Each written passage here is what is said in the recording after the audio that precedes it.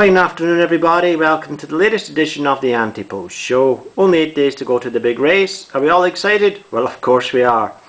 Now, I'm not going to hang about here. I'm going straight into the latest video which has been sent by Snoopy Riley who has clearly become the archivist for this particular race of 2010.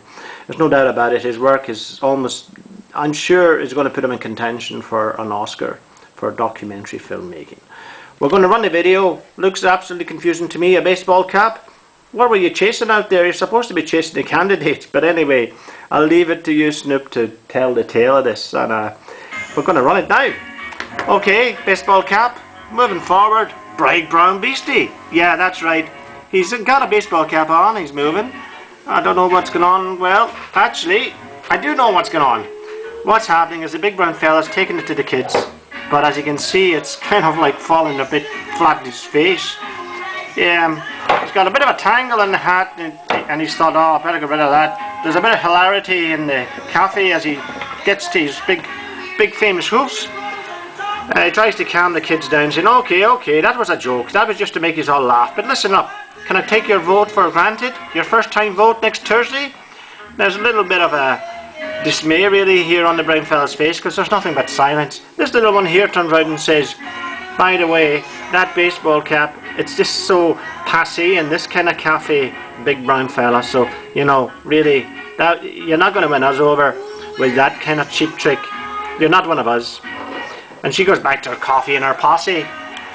And then a big brown fella pulls out one which he thinks, you know, he's going to win them over. He says, you know, I know you all love CDs, kids. I know you love them. Well, if it wasn't for me driving down prices lower than mice's, well, you know something?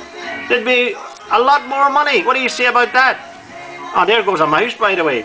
Well, this fella here, he's straight to the point. He walks up.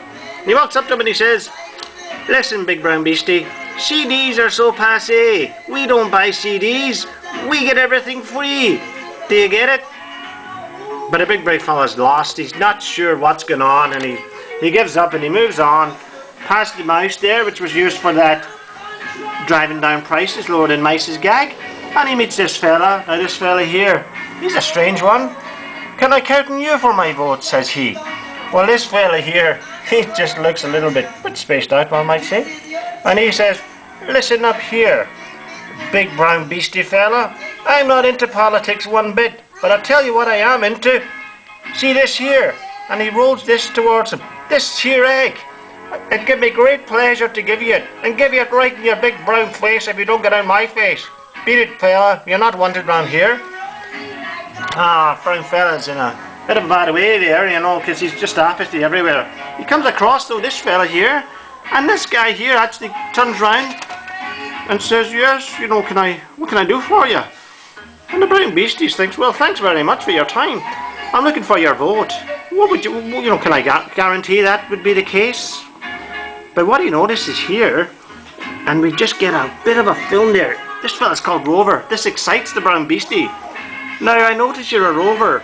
Now, where I come from, a rover tends to be a floating voter. You know, roving between one party and the next. Now, can I tell you why you should vote for me? At this, well, the young pup, he's, he's not happy, and he starts pushing, pushing the brown fella, and he says, he says to him, you know, listen up, my parents called me Rover, and I hate it. I really hate it. And now you call me Rover? Just leave me alone. Leave me alone. And the young pup, well, he's gone back onto his Facebook, whatever it is the young people do. Well, Brown Beastie, he's pretty despondent. And as he's leaving uh, the cafe, has a little survey around it. He thinks, no, I'm just not going to reach the kids. But uh, what, we get here, what we get is on a magazine rack in the trendy cafe is this uh, magazine, and uh, you know there's a few few punters there. Not sure what the big brown fella thinks, but he sees this guy and he thinks, I don't know what he's got to be so happy about or proud about. Therein ends the video. Once again, thanks Snoop. It's an extraordinary bit of filming. Has it helped you make your mind up? Well, I don't know, and maybe you don't know. Speak to you all again next time, people. Take care now.